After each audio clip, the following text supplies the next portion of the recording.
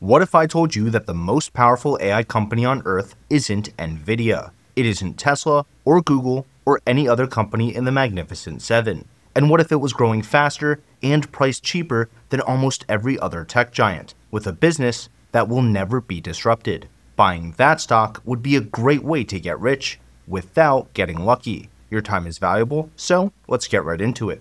First things first, I'm not here to waste your time. This video is all about the Taiwan Semiconductor Manufacturing Company, and here's everything I'm going to cover. How TSMC actually makes their money, why TSMC is still cheap, even with a trillion dollar market cap, why TSMC's biggest risk may never become reality, and of course, what all this means for TSM stock as a result. But let's start with what makes this company so special. TSMC is the world's best semiconductor foundry by far. They don't sell finished chips or consumer electronics under their own brand. Instead, they make money by selling the most advanced, custom made semiconductor wafers to the world's top tech companies, who reserve TSMC's production capacity years in advance for their own CPUs, GPUs, and other kinds of processors. Let's get specific about what they actually make and for who. TSMC makes the A series chips for Apple's iPhones and the M series chips for the iPads, MacBooks, and iMacs. They also make Qualcomm's Snapdragon processors,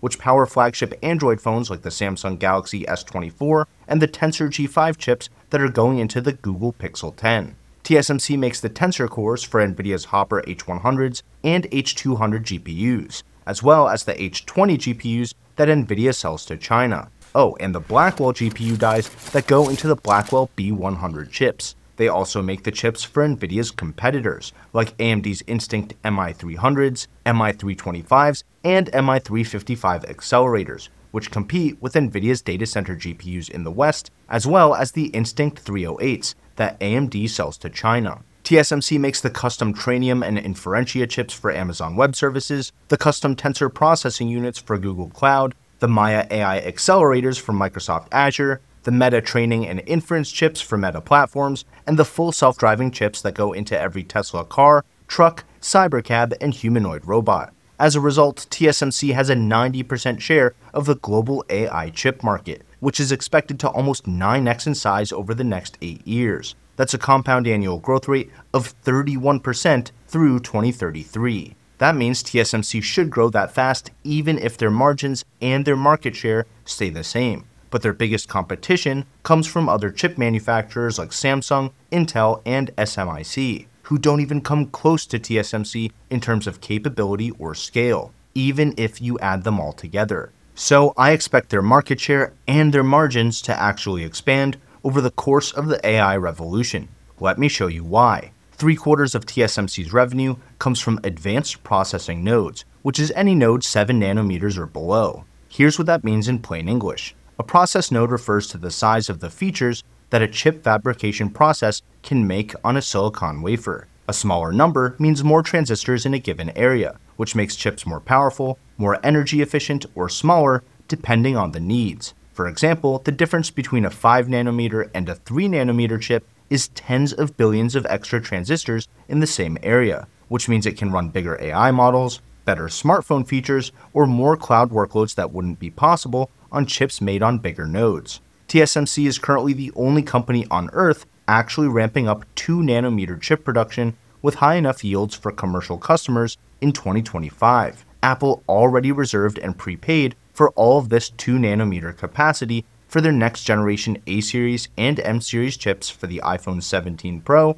and for future Macs. That's a great strategy for Apple since it gives them a first mover hardware advantage it guarantees their chip supply, and it keeps their competitors on older nodes. But it's also great for TSMC because they have guaranteed funding for their latest chip technologies, which gives them security to do the research, development, and refine their next generation processes, which are going to then get reserved again. And that's TSMC's core revenue flywheel. But TSMC doesn't just run the most advanced processing nodes on the planet, they also make custom nodes for their clients. For example, the custom node for NVIDIA is called 4N, which was created specifically for the power, density, and performance requirements of NVIDIA's GPUs. They also have a newer process called 4NP, which is a higher performance version of the 4N node to make NVIDIA's Blackwell B100 and B200 GPUs. That means every data center, cloud service provider, and supercomputer that relies on NVIDIA's chips for training and running AI models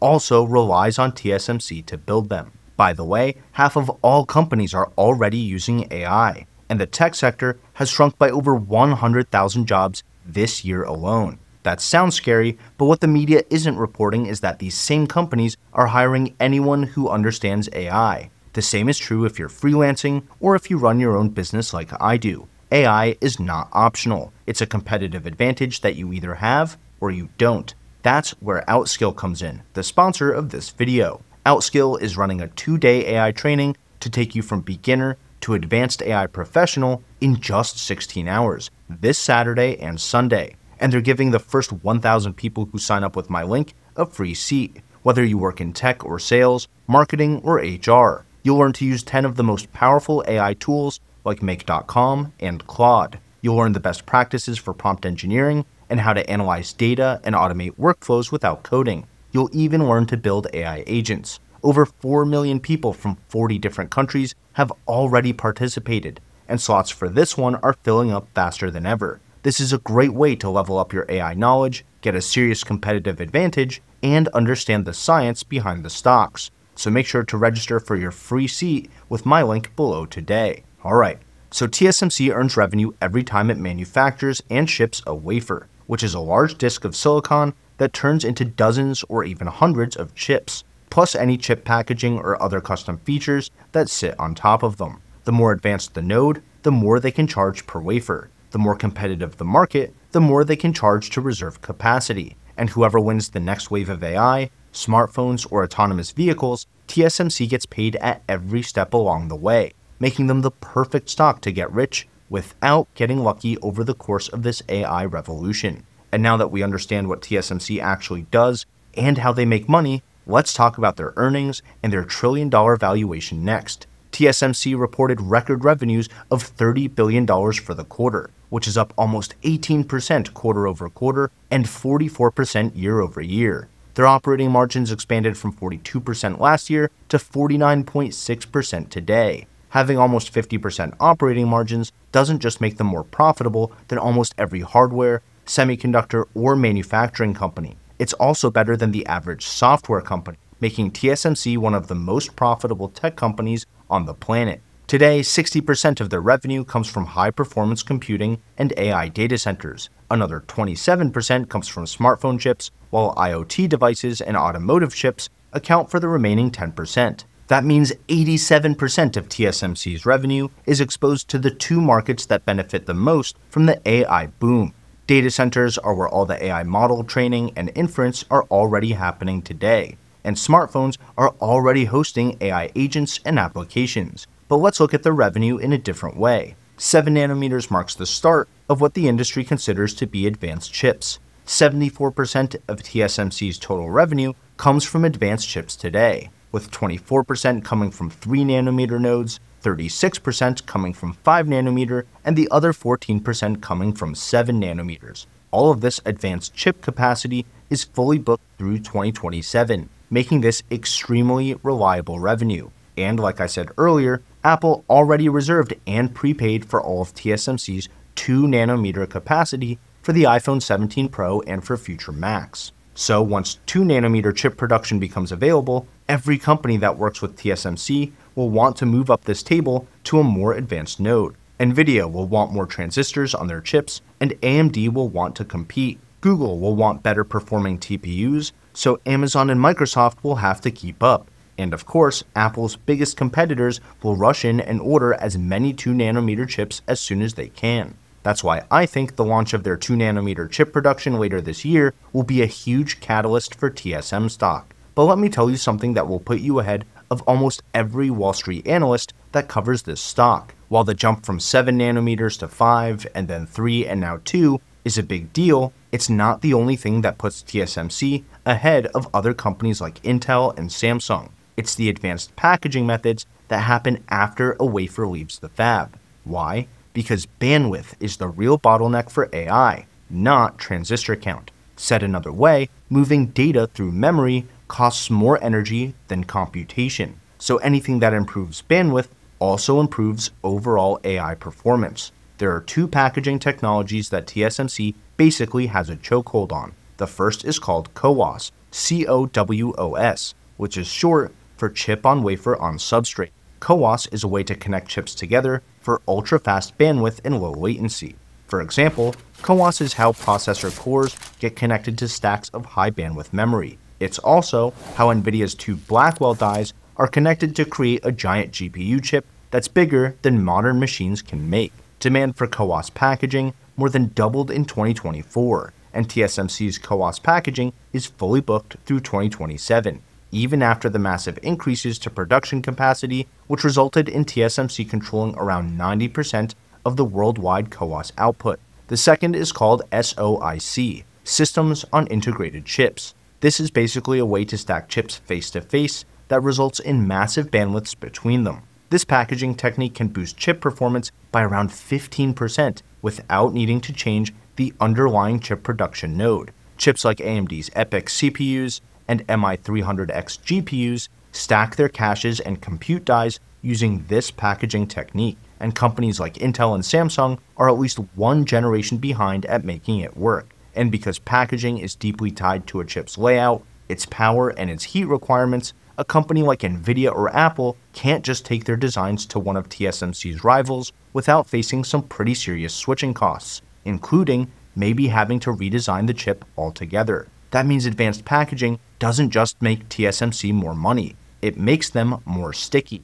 Alright, so TSMC is the world's leading chip maker and works with every major tech company. They're unrivaled in terms of capacity and scale, they have the world's most advanced packaging techniques, and they're about to launch their 2 nanometer production lines. And now that you understand the science behind this stock, let's talk about its price. TSMC just hit a trillion dollar valuation after reporting record revenues and profit margins. That doesn't make this company expensive.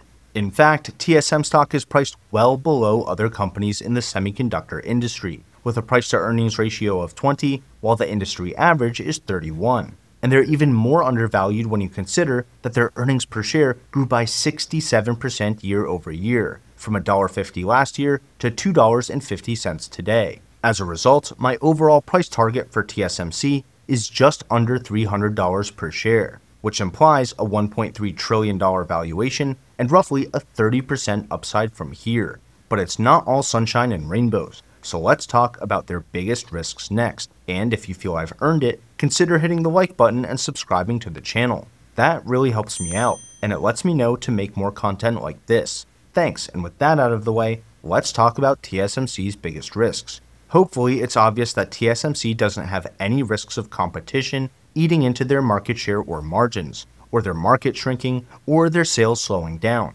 When Warren Buffett bought over $4 billion worth of TSM stock, back in 2022, it was because of everything I covered in this video. But in early 2023, Berkshire Hathaway sold every single share, saying that even though it's one of the best managed companies in the world and no one in the chip industry is in their league, Warren Buffett is unwilling to tolerate the risk that China could invade Taiwan.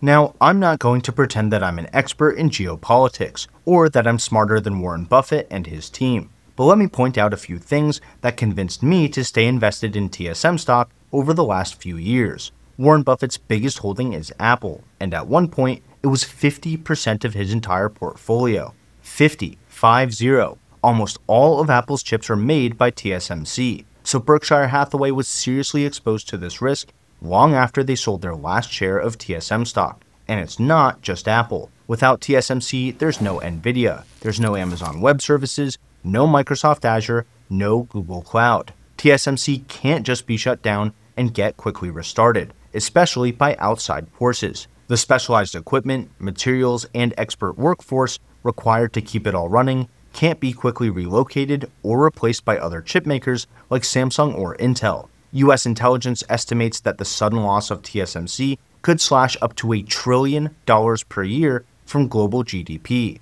while other forecasts say it would be the single biggest economic shock since the Great Depression. Chip shortages would drive prices up by an estimated 59% overnight. That would cause every market, from automotive and industrial equipment to consumer tech and digital services, to become much less dependable. And much more expensive, which would plunge the world's economy into a new spiral of inflation and unemployment. I'm not trying to be dramatic here, but if TSMC stops making chips, we will all have much bigger problems than their stock price. And this really isn't a risk that any investor can avoid, not even Warren Buffett. If you're invested in AI, you're already invested in TSMC. But there are two big factors that mitigate this risk. First, China can't make chips anywhere close to TSMC's most advanced nodes, which means they would face the same massive economic consequences as the rest of the world.